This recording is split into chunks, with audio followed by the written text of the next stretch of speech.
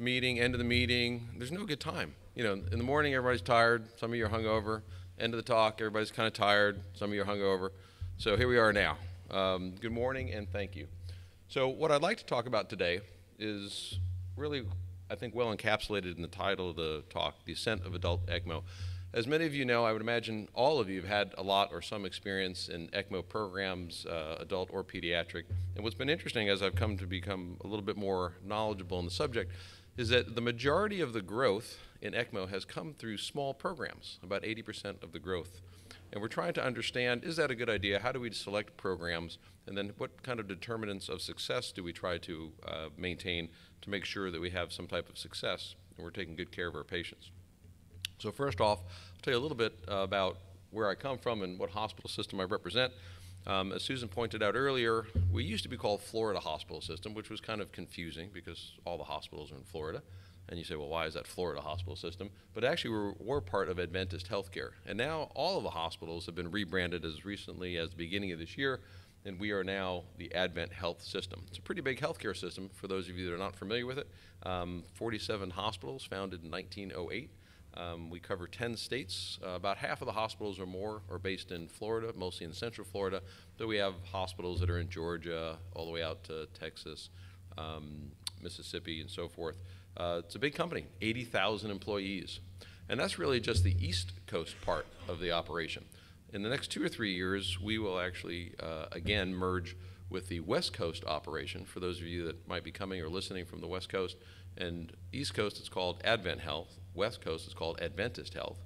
And when those two corporations are merged, it'll be a company of about 75 hospitals and about 120,000 employees. So that is just the breadth of what we do. In the Orlando area, which is where our main hospital is, it's a 1,300 bed um, tertiary care hospital that performs everything from routine bypass surgery to heart lung transplantation and mechanical circulatory support. That's about a 1,300 bed hospital, and that's about 40 or so miles due south uh, of the program uh, that I started back in uh, 2010. If you look at the aggregate of how many heart surgeries get performed in this system, it's about 3,600 heart surgeries a year. So it's pretty robust. You know, even in the year 2019, 3,600 heart surgeries count and it matters. So the next question becomes, you know, why would we have an ECMO program in a community hospital? Uh, how many of you, by show of hands, work in community hospitals versus major medical centers? So seems about half, or maybe even the majority. Um, if you take a look at the initial rollout for ECMO, that was only in tertiary care centers, quaternary care centers, you know, in many cases. So someone had mentioned, I think the previous speaker had mentioned about the inspiration of it all. So the first question is, you know, why would you even start a heart surgery program? And I could tell you, when I got there about eight or nine years ago, I thought, well, this is no big deal. This is like teaching everybody a new language. And then you get on the ground and you realize how elemental it is. And you come to realize it's not like teaching them a new language, it's like teaching them a new alphabet. You know, that is how fundamental it is. So as we achieved some success in the program and started to do heart surgeries and the number of pretty close to 400 heart surgeries a year, and we thought that that was a respectable volume that might support the next level of care, whether it was mechanical circulatory support in the way of things like Impella or things like ECMO, which we'll talk a little bit more about we come forward. Um, it's about inspiration and it's about a story. And we started to realize that we were perhaps not just in the heart surgery space, but in the critical care space, we were losing patients that perhaps we may not have been, uh, should have not been losing otherwise. And then there's always a story, right? As adults, we come to learn better by stories than just by reading textbooks. So here's a story that I experienced. There was a fella in the uh, hospital. Uh, his name was James Roberts. It was kind of the guy that we all have these relationships at work. You kind of know this person. Maybe you'll see him, you know, or her couple of times a day or a couple of times a week. You never really get to know who they are. You just kind of nod, how's your day? You're in the elevator, that kind of thing. And James worked for uh, physical plant. So he was the guy that fixed things in the hospital. And then one day I'm on call and I get a call and we have a patient and it's a STEMI patient. Guy had arrested uh, in the hospital and needed emergency bypass surgery. And I come to find that it's this guy, you know, it's James Roberts. And we go ahead and we fix him and we do bypass surgery. But as part of his injury, he had aspirated, had a major aspiration. And over the next couple of days, and you can probably tell how the story ends, his aspiration gets worse. He goes into ARDS. We don't have the ability to transfer him out because our hospital, our transfer center hospital down in Orlando is full. And lo and behold, you know, James winds up dying. And that was kind of hard because we thought, well, maybe if we had this level of support, you know, maybe he would not have died. So I felt personally responsible for that. I thought perhaps I should have pushed a little bit earlier, you know, and rethought whether we should have had this program earlier. It's not quite so simple. As you know, it's not like you snap your fingers and a program appears. Um, it requires a lot of work and commitment, and we'll talk through that in a bit. But what made it worse and what made it uh, really a personal journey for me is I came to learn that his daughter also worked in the hospital, right? And she also worked in physical plant housekeeping. So I see her now about every day you know. So you think about these personal reminders you know and these inspirational stories about why we need to try to advance certain levels of care. You know that was my personal professional journey of where we're at. So why? You know why community-based ecmo? It starts with outcomes right? You have to have good outcomes right? We cannot offer a service or a technology that produces anything less than excellent outcomes. So i put uh, provides outcomes that are as good or equal to tertiary centers with an asterisk and the reason I put the asterisk is it has to be for like cases, right? It has to be for apples and apples comparison. And in order to do that, you have to have a certain amount of what I call intellectual humbleness. I used to think it was intellectual honesty. I used to think, well, that meant, you know, you need to be really honest and you need to peel away the layers of whatever your ego or bravado is and you need to take a look at your data and you need to accept it for what it is. So when someone challenges you with, you know, how are your results, of course you give the answer, well, they're excellent and here they are. And then I've kind of evolved that to it needs to really be intellectual humbleness because there's stuff that you think you know, and if you put it down on a, an exam, you would think you were given the 100% accurate answer, but there's stuff that you don't know, and you really need to have a plural group take a look at this. So outcomes, of course, are very important. Um, why does it matter? You know, why don't we just transfer all these patients out, right? How many of you have been part as a receiving institution or as a transferring institution, and the phrase goes like this, we'll just transfer them out. It's no big deal right? But then you don't think about the impact. And as I have gained more, you know, gray hair in the middle years of my career, you think, well, what does that really mean? Now think about it. If you have somebody who's in your community hospital and you're able to provide this level of care, but now you have to ship them out or transfer them out, and they go 45 minutes away, two hours away, you know, what do you think that does to their isolation? You know, do you think that their family sees them as much? Do you think there's not a stress to the patient or the family? So I think there is a community commitment to take a look at these type of technologies and understand whether they apply. Um, there's a little bit of the institutional mission. What is the mission of your hospital? Provide the best possible care. That's usually what they mean. But you know, what does that actually mean? Is the best possible care all the way through heart-lung transplantation? Is it VV ECMO? Is it Impella? Is it none of those things? Is it balloon pumps? There's something called the halo effect, right? We're all familiar with that. Um, if you get this, then something else good will happen. Well, the halo effect is actually kind of a dumbed down version of what we call the Matthew effect, which is the effect of accumulated advantages. And all that really means is the more better things that you could do in an institution, the better everything else gets around that institution. Because you focus on the outcomes, you have certain technologies that bring other expertise with it. You have a certain amount of institutional pride. I can tell you in our system, specifically the CVICU nurses, the CVOR team, you know, which helps us uh, cannulate our patients, they really connect with the patients in a different way because these are special patients. These are higher resource, super sick patients that when we institute, you know, the ECMO uh, care for them, they tend to really connect with that and it, it buzzes within the hospital. Uh, transportation risk. We made the comment earlier about no big deal, we'll just transport the patient. It's a really big deal to transport ECMO level patients. Some of them are not transportable. Some of them are too sick if you wait too long to transfer them. Um, for those of you that have had the experience of packing somebody into a helicopter, you know, with a CardioHelp, for example, you know, it's not that easy and it doesn't come with zero risk.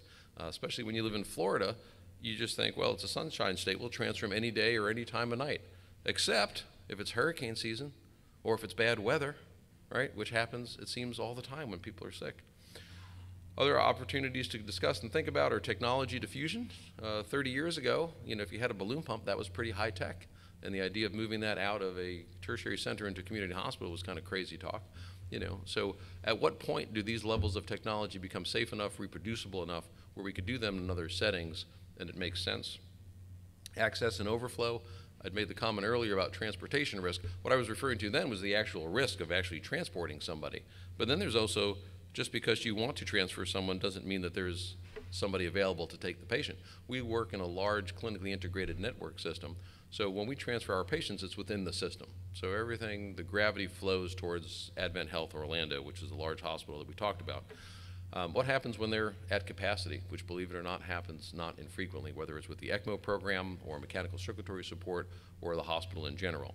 then you're stuck holding on to a patient that perhaps you don't want to or isn't best for the patient. And then last issues are financial. Is this something that we make money with? Is this cost neutral? Is this something we lose money with? And if we don't make money with it, is it still something that fits within the institutional mission? Uh, the hospital system I work in is a not-for-profit. So not-for-profit doesn't mean not profit. It just means how do you address that and what's the community benefit when we take care of these patients? So we'll talk a little bit about determinants of success, and this is whether it's an ECMO program or really nothing different than starting any type of program. Um, and there's four kind of inputs and one output. Institutional commitment uh, for any of you that have been part of starting anything new in any system.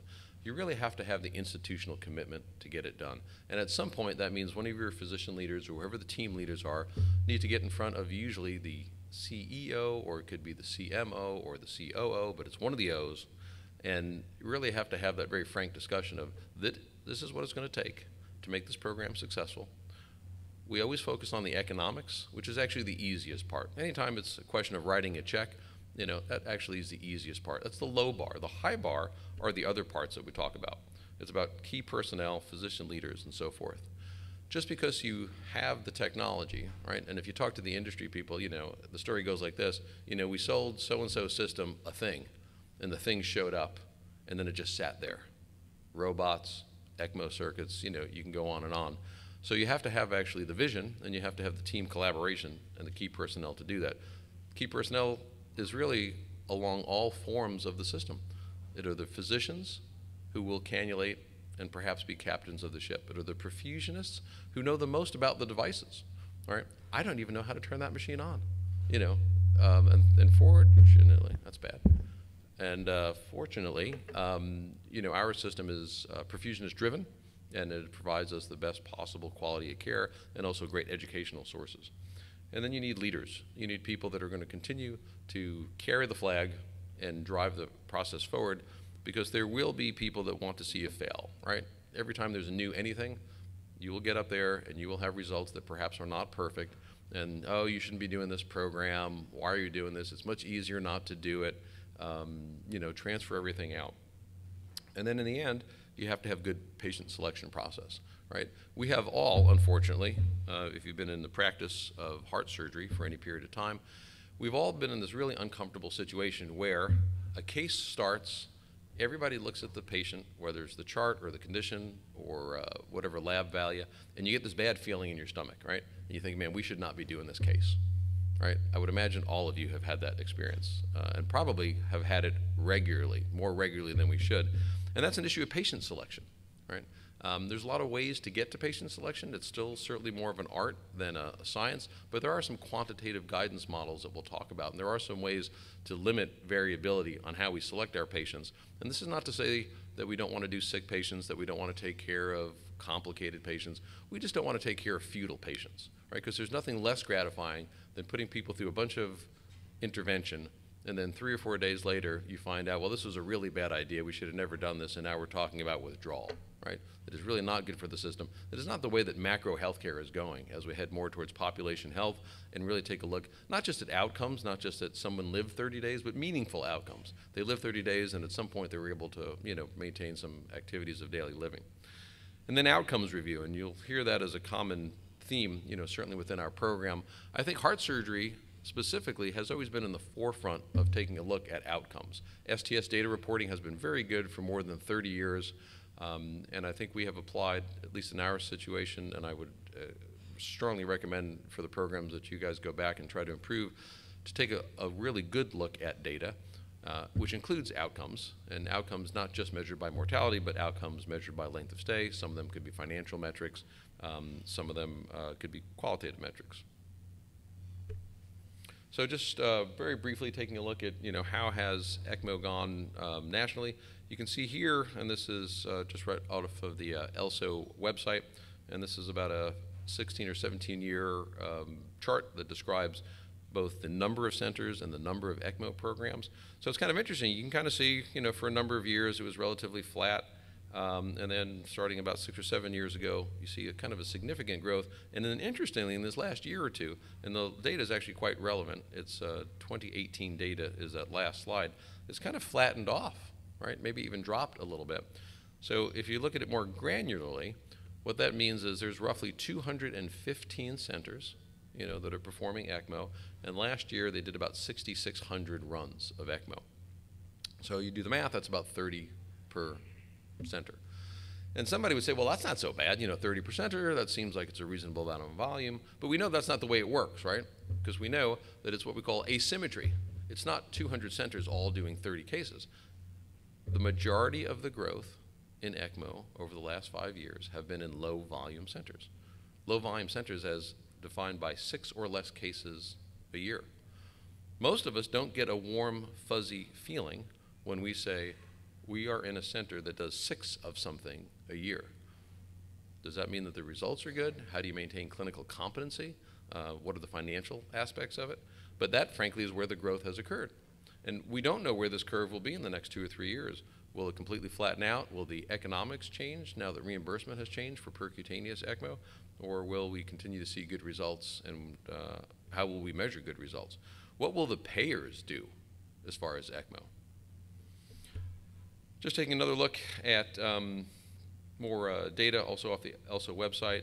And this is a five-year running total of uh, ECMO numbers. And you can see the breakdown between neonatal, pediatric, and adult. Obviously, in our institution, we focus on adult only. And then you can further see the distribution between pulmonary, cardiac, and ECPR, which is kind of interesting and has become popular over the last few years. Take a look at outcomes. You know, the first row of outcomes talks about survived ECLS. Well, that's good. I mean, you want them to survive the therapy that you're instituting, but that really is kind of the low bar, right? They survived. It's like saying you've just done a routine heart surgery and they survived cardiopulmonary bypass. You know, the expectation is they're going to survive pulmonary bypass. You know, the expectation is when you're flying in an airplane, which is maybe not good historically right now, but the plane is going to land and it's going to function okay. More meaningfully, then you get to survive to discharge or transfer, right? Then it becomes a little bit more clinically relevant. So survive to discharge or transfer. Transfer, I think, is still a low bar, right? So transfer perhaps might just mean is that you've instituted someone on an ECMO, whether it's VV or VA, and then you've called for transfer, and they have made it to the transfer center. Also not an especially good high bar, right? Because you don't know what the outcome of that patient is. It becomes more meaningful, and the data here is still a little bit muddy because they've grouped them together either survive to discharge or transfer. So I think more meaningfully as we go forward, we need to get to things like STS data reporting where it's 30 day survival, and then even better than that, taking a look at meaningful survival, right? Because for many of us who are not in a very multidisciplinary system, we're not really connected with the long term outcomes of the patient. And it's kind of interesting, and I'm sure you guys have had this experience. Um, somebody will ask about surgeon results, and you go, oh, surgeon A, B, or C, you know, how do they do? And you're limited to what happens in the operating room, right? But you don't know what the 30 day results are or you don't know necessarily what their complications are. And I think we need to be thinking in terms of that as we take a look at our ECMO patients for patient selection. Our indications um, in our system are here described. Um, the majority of our patients actually were aspiration patients, but we have a relatively equal distribution of bacterial pneumonia, viral pneumonia, we have some of the cardiac patients. Not that exciting. Patient selection. Uh, patient selection is really probably the key to good results. You know, we think about which device we use. We get super focused on minutia about what our flow rate should be. Should it be three and a half liters, 4.2 liters? And we super focus on that. And we think, well, that must be the success. You know, the programs that run at this rate have better success than the programs run at that rate. But the reality is, is the programs who pick the best patients do the best. Right? And that may seem obvious, but actually it's not obvious because how do you get there? And this is true whether we're thinking about ECMO patients or we're thinking about any type of surgery patients. Um, I will tell you, multidisciplinary collaboration, which was also cited more than one of the previous speakers, it is absolutely key, right? You have one person looking at one set of data. They have a certain bias that they come with, right? Whether it's bias of experience, uh, by how many years they've been in practice, bias by how much they've had experience in circulatory support, um, bias by how things are going in their life, right? So the more people you can get involved in the process, what does that mean? Surgical side in our system, critical care side. Sometimes it's the patient's cardiologist, it's a cardiology patient, our perfusion colleagues. Um, and again, really important to have that discussion before you make a recommendation for patients to go on uh, ECMO. Quantitative guidance, that's kind of a cool phrase. Um, how many of you do you know use something like the RESP score? That sound familiar to anybody? See, it's interesting, right? Because if you are in the I'm trying to decide who's on ECMO, it is really a pretty relevant piece of data, right? So the RESP score, which you can find online, It's very easy to use, and I would encourage you guys to go back to your practices and take a look at it and just kind of do it at least on your own um, as you're thinking about how this is going to turn out. So you can take a look on the right, and it's a pretty simple system to use. It, it takes, I don't know, not more than 15 seconds, and factors like patient age, ARDS, have they had a cardiac arrest, what's their AA gradient, do they have multi-organ failure, um, all the things that you kind of would like to know, right?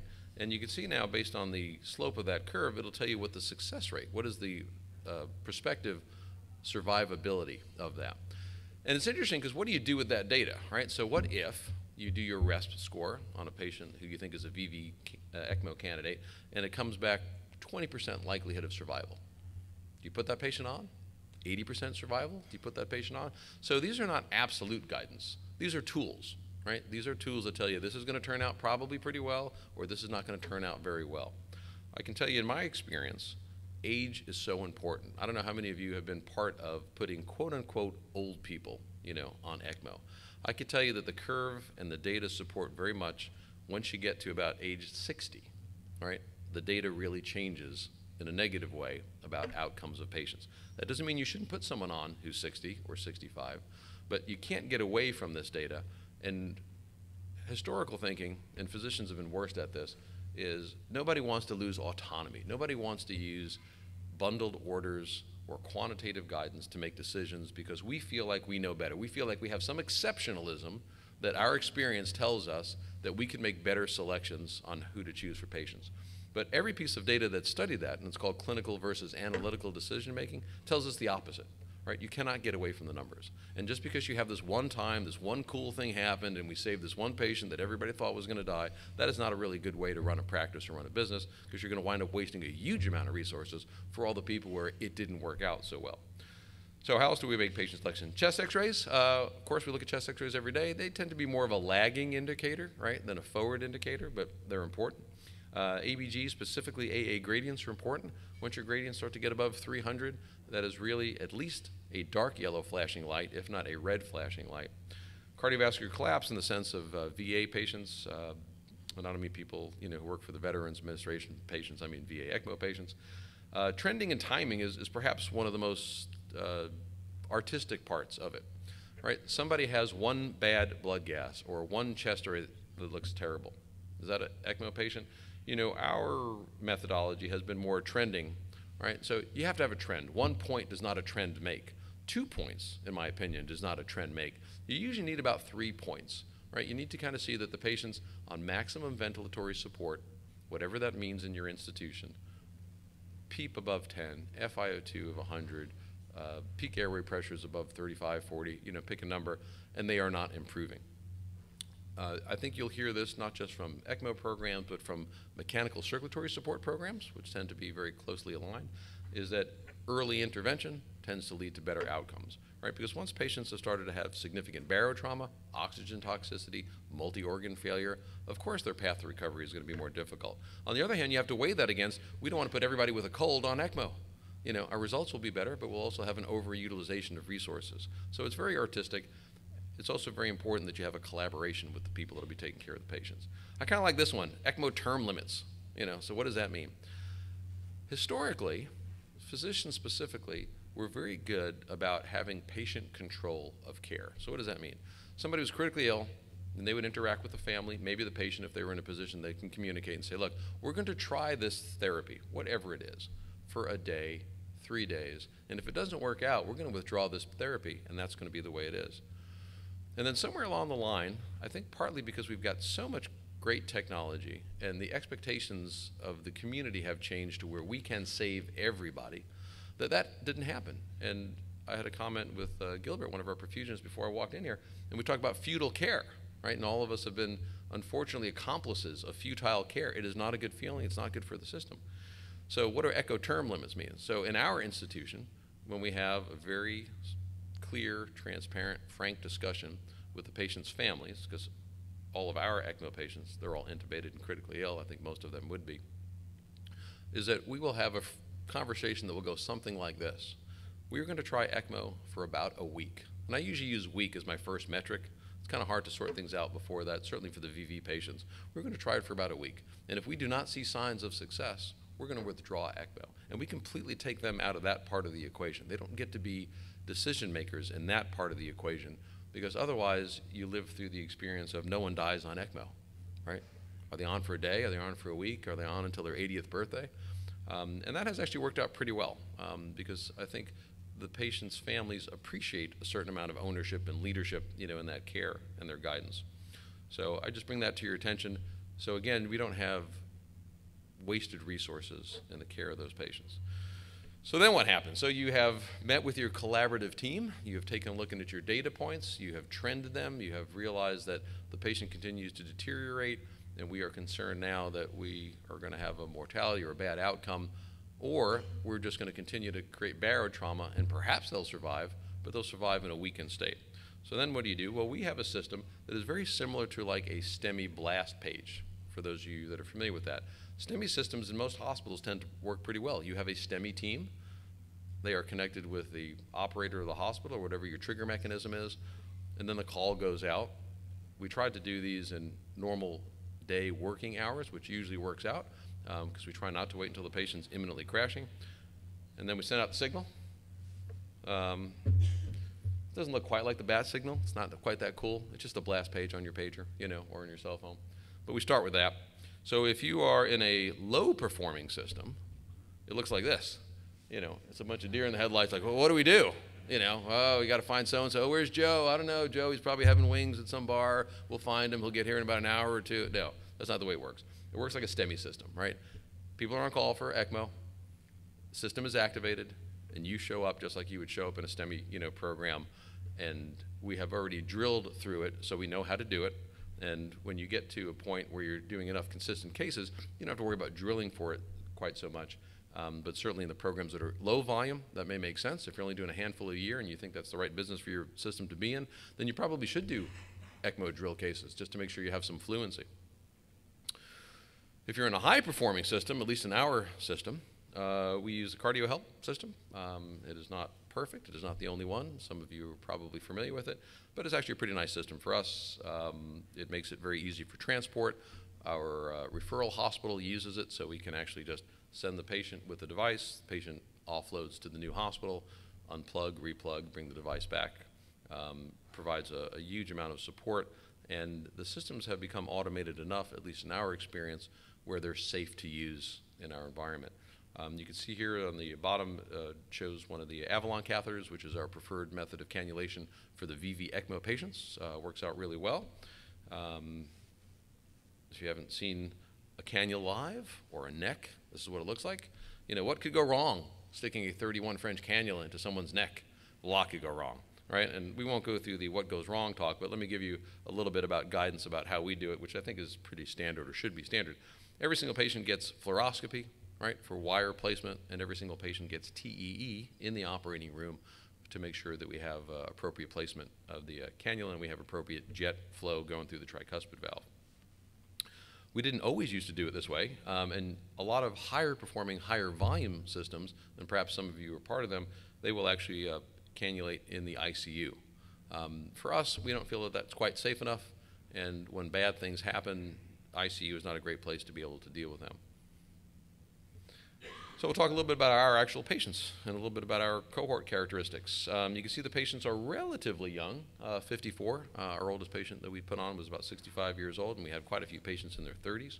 Uh, most of them tend to be male. Pre-ECMO length of stay. So how many days are the patients in the hospital before we institute ECMO. It's around four days with pretty good variability, some of them five, six, seven days. So to me, as I look at this data, and this is why it's so important to get back to that idea about intellectual honesty, how do we improve? You know, and I look at this number, four days. Is that too long? It feels too long to me when we take a look at that. So we go back and we take a look at the data, and have we picked up on some of these subtle triggers about the trending of some of the data? Now, it's not that we hold on to these numbers absolutely. It's not like we have a watch and we go, well, four days, you know, it's time to be on ECMO or not on ECMO. Um, but I think there's an opportunity to improve. And I think our next 10 patients, as we refine our patient selection methodology, it probably gets to more two, two and a half days, right? Patients that are deteriorating they don't tend to dip like this and then just all of a sudden get better on their own with conventional methods. Uh, BMI, 33 and a half, you know, they're robust. I don't know if that's big or small and where you guys come from, but uh, they're not small in our world. The RESP score, we talked about that before, so about 2.4, also with some wide variability. So in 2.4, if you go back to the RESP scale, that should probably give you around a 50% survivability. And that kind of gives you the intellectual humbleness of knowing how are we doing? You know, it's not enough just to say we saved one or two patients. If you do a cohort of 10 patients or 100 patients and your RESP scores, which are not perfect, but they're perhaps the best predictive model we have right now, would suggest 50% of your patients should survive and only 30% of your patients are surviving, you really need to look back and think about what you're doing. Is it technology? Is it process? Is it patient selection?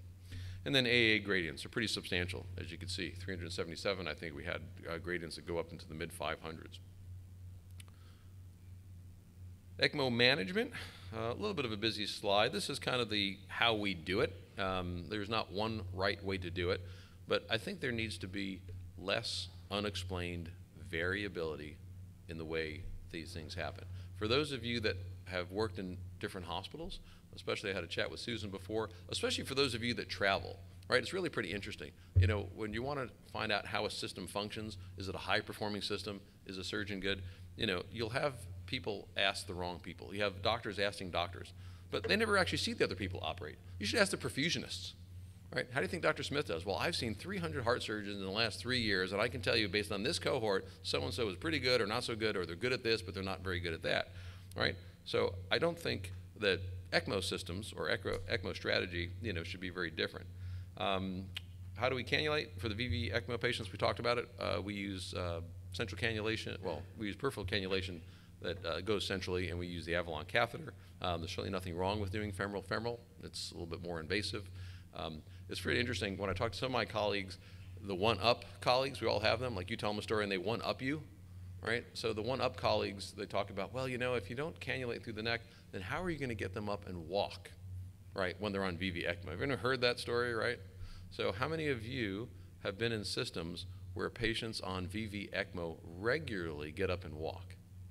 Yeah, okay. So about 2%, you know, 3%, right? Pretty rare, right? And those tend to be in the cystic fibrosis young patients who are 20 years old. You can do almost anything to them and they'll do okay. So the reality is patients don't really get up and walk very much. We anticoagulate our patients. We use an ACT 180 to 200. Um, there's nothing magic about that. Uh, when we're getting ready to do procedures, we'll turn our anticoagulation off for usually two or three hours, depending on what procedure it is. Um, and we talked a little bit earlier about the multidisciplinary care team. We round as a multidisciplinary care team, which includes surgeons, critical care, perfusion, bedside nurse, respiratory therapy, when appropriate, um, nutrition and pharmacy three times a day on every single one of those patients, right? That is what you, I think you need to do to get it done right. Because little nuances change, right? And I'll share with you some bad outcome that we had uh, that perhaps we could have picked up on earlier. And you can't just round on them once a day and just high five each other and go, all right, that's our plan, you know, we'll touch base later and, and react to when something bad happens. We've really got to pick up on these trend lines, whether it's an increasing lactate level, increasing unexplained acidosis, change in pump flow, right? All these things matter. Um, sedation. How do you sedate the patients? We tend to not paralyze our patients, and they tend to be sedated with a combination of either propofol and fentanyl or uh, Precedex and, and fentanyl. Um, tends to work out really quite well. All of our patients get percutaneous tracheostomy. We do them all at the bedside in the ICU. If you are sick enough to be on ECMO, then you need a tracheostomy. And the reason that is, and I'll skip over, is that because we do daily bronchoscopy on everybody. If you're on VV ECMO, you're getting a bronchoscopy every day until you go through a period of two or three days where we don't get much return on our bronchoscopies and the x-rays have improved. It's incredible how when you look at certain x-rays, you think, well, there won't be very much to return from bronchoscopy. Yet there is, and you pull out nasty, terrible looking things that sometimes helps your antibiotic guidance and at a minimum helps clear the airways. Um, kind of the mirror image of if you get a tracheostomy, you get a PEG because we want to get early nutrition. Ventilator settings. I wasn't even sure I was going to put any numbers. I just kind of put some basic numbers, right? Um, ventilator settings, you could also have the same argument of how do you manage your perfusion settings or your CardioHelp settings. For us, this is our baseline start for an average patient. Tidal volume is relatively low, 300, PEEP is low at 5, FiO2 40. Um, it's really interesting, and again, I think you guys have probably had some of this experience of how little some of the peripheral people taking care of critical care patients understand the physiology of ECMO. One of the things that irks me, and I say irk because I don't want to use the, use the phrase pisses me off, but I will because I just did, is that when you come in in the morning and the FiO2 has been turned up to 100%, right? Has that ever happened to you? Just drives you crazy. And then you go, why did this happen? And they'll go, well, you know, the patient hiccuped or we had to suction them, their pressure dropped to 80 for a minute. So we turned, you know, that's what we did. We bagged them and we FID them. Know? So what does that tell you? That tells you they don't understand, you know, the pathophysiology of what they're doing. So ECMO, among anything else, and our perfusionist specifically will tell you, it's an opportunity to educate, right? Because these things matter, right? High FiO2s cause oxygen toxicity over a period of time. CardioHelp settings, what do you set the device at? You know, I'll defer that to our perfusionist. In general, we have a goal of running at around four liters a minute. You know, our, our, venous pressures are around negative 100, 120 or so for sweeps are variable depending on the blood gases. When we decannulate the VV patients, uh, we decannulate them in the ICU, and we haven't had any problems with that. Outcomes, this is what matters. So in our experience, um, our average runs have been around 10 days. I think our longest run so far has been about 22 days. Um, hospital length of stay, it's interesting, it's only around 25 days. So for our patients, however we have been selecting them and whatever our referral patterns are, you know, they're not in the hospital that much longer than they are after ECMO. So we tend to have what I would consider very good recovery of the patients. Uh, we do have a lot of acute renal failure. Almost everybody goes into renal failure. You can pretty much guarantee that, at least in our system. Um, we tend to uh, use a lot of CRRT, and we tend to use a lot of that, you know, through the ECMO circuit. Interestingly, happily to report, we haven't had any device failures or any malfunctions. Also, we have not had any uh, major bleeding with our anticoagulation strategy. Minor bleeding, sure, all the time. Somewhere around the tracheostomy site, perhaps, sometimes around central lines, uh, but nothing to where I think we've even had to ever stop the uh, anticoagulation. Um, how many survived ECLS? Uh, the great majority of them. I will uh, share with you our one patient that didn't survive. And this is a difficult case for us. In fact, this was our last patient. He was a 60 year old fellow riding his bicycle. Apparently, riding your bike is not really healthy or safe. And he comes to the emergency room not feeling well. He has a cardiac arrest. Has an eight minute arrest the first time, is a STEMI, gets stented, recovers, has another arrest, gets recathed, recovers. Um, so we were never really sure what his neurologic recovery would have been, but organically we thought he was a good recovery candidate and otherwise a very healthy fella. And he wound up actually having a very severe aspiration, and uh, he wound up dying around ECMO day 10 and our best estimate is that he probably died from ischemic gut because he had actually been doing quite well. And it was very disappointing to have the conversation with the family in the morning about, you know, your dad is doing pretty well and you know, this is our expectation. And then about 10 hours later saying, well, he's not doing so well. You know, he's become wildly acidotic, can't find another explanation. Um, I hate to use that as an excuse, you know, why patients don't do well. And we say, well, it's just ischemic gut. Uh, but sometimes you don't have a better answer for it. Um, survived to uh, discharge or transfer. Great majority of ours did. 30 day survival. Um, so in our cohort of 10 patients so far, eight of them were VV ECMOs, two of them were VA ECMOs. Our VA ECMO patients do not do well. Uh, we got our patients over to a referral center, and some of them uh, went on to intermediate term VADs. Uh, the two patients that we sent over actually didn't survive. Um, so we are not trying to be a VA ECMO program. We're trying to understand our sweet spot in VV, and I think we've done pretty well. Of the first eight, seven have survived and have had meaningful survival. So going forward, what are our programmatic goals? Quality outcomes. Can't have a sentence or a slide that doesn't have that. Uh, we continue to have a very robust database. We take a look at our data with every patient, and every time that there is a bad outcome, we have a uh, root cause analysis review, and we talk about things that we could have done differently and uh, things that we might do differently in the future. Right now, we have a trans, we have a excuse me, a perfusion uh, care model. So our perfusionists become indentured servants when patients go on ECMO. They are in the hospital 24 hours a day. They somehow figure it out and they get it done.